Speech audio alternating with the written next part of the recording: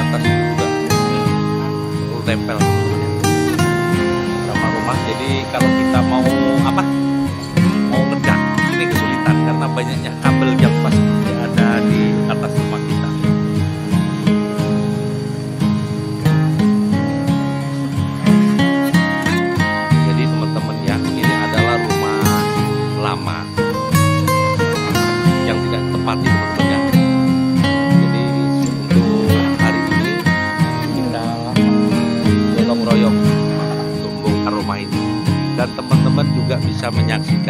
cara menurunkan genteng ala desa.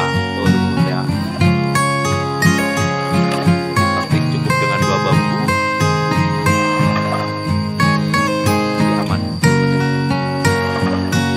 untuk genteng ini sudah banyak lapuk ya jadi untuk teman-teman kita naik di atas itu harus berhati-hati